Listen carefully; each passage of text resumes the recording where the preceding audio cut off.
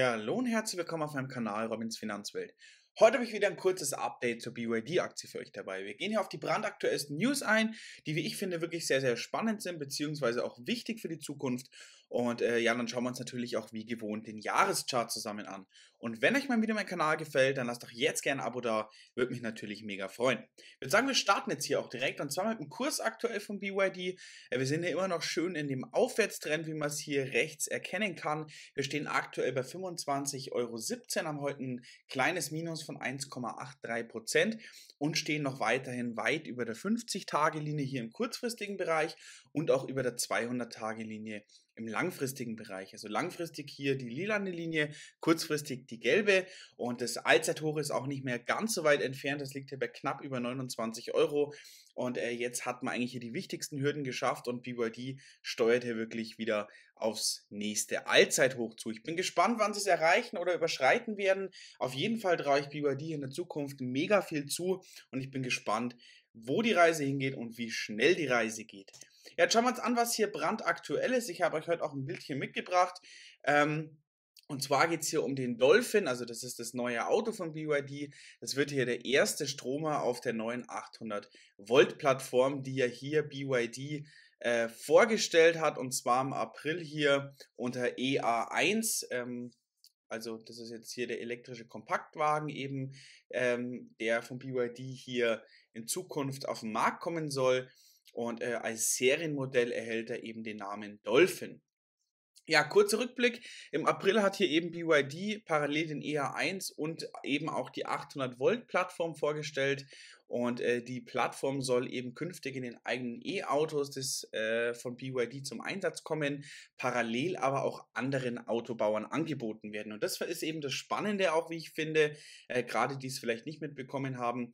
Aber wenn natürlich das Ganze für äh, andere große E-Autobauer, sei es VW, vielleicht auch einfach große wie BMW äh, und Co hier mit einsteigen, dann verdient natürlich BYD ordentlich mit und sie können es natürlich für ihre eigenen Autos auch nutzen. Äh, und bei der Präsentation während der Auto Shanghai versprach Herr BYD, also mit Blick, mit Blick auf die Plattform, enorme Fahrleistungen und auch Reichweiten.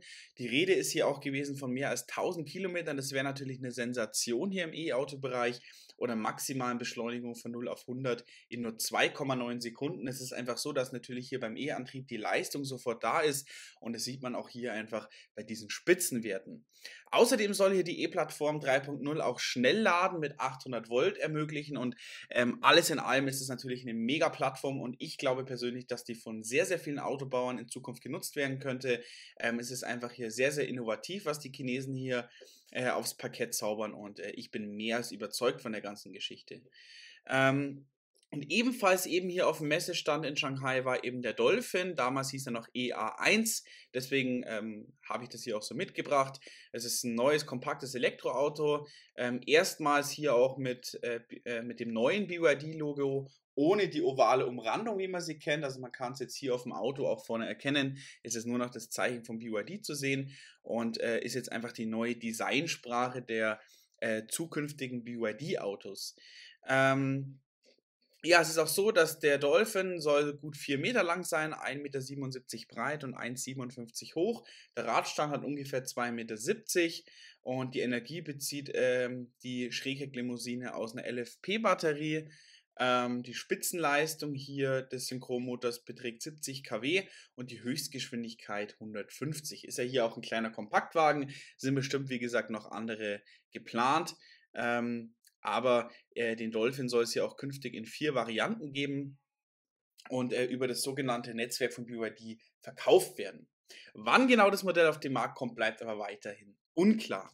Ja, schreibt mir jetzt unten gerne Kommentare, was ihr zu den aktuellsten News sagt. Ich finde sie mega. Ich finde auch die Plattform von BYD sehr, sehr stark. Und ich bin mal gespannt, ähm, wie es hier weitergeht. Und wenn euch mein Video, mein Kanal jetzt gefallen hat, dann lasst doch jetzt gerne ein Abo da. Würde mich natürlich mega freuen. Das war's von meiner Seite. Ich wünsche allen einen schönen Tag. Freue mich aufs nächste Video und bis zum nächsten Mal. Ciao.